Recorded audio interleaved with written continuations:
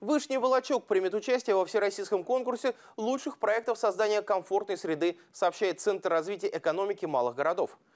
Будет представлена концепция благоустройства Ванчиковой линии. Это отрезок от Казанского проспекта до улицы 9 января. За эту территорию проголосовало большинство местных жителей. На ней расположен Вышневолодский драматический театр. В створе улицы установлен памятник Екатерине II. К ней примыкает Венециановский сквер. Ближе к улице 9 января Ванчикова линия ограничена исторической застройкой и Цнинским каналом. В случае победы на конкурсе город получит 90 миллионов рублей из федеральной казны.